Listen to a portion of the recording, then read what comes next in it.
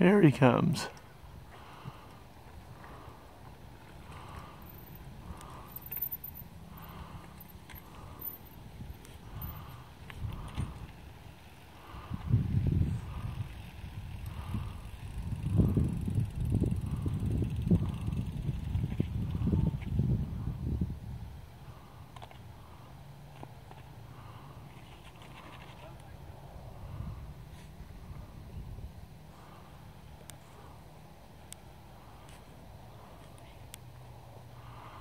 He should be coming through. Here he comes.